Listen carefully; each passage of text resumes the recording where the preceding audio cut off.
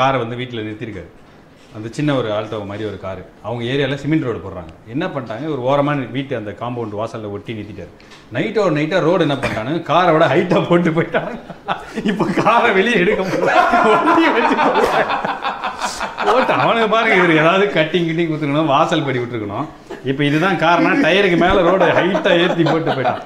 இப்போ அந்த காரை தூக்க முடியல வெளியே. அப்படியே நிற்கிது என்னப்பா ரோடு போட்டு போயிட்டானுங்க காரே எடுக்க முடியல. பாண்டிச்சேரி பாட்டில் வாங்கிட்டு வரப்போ இந்த எலுமிச்சம்பழம் டயலாக் இருக்குல்ல. அது எவ்வ- அது எவ்வளவு? நீங்க கேளுங்க. சரின்னா வரும்.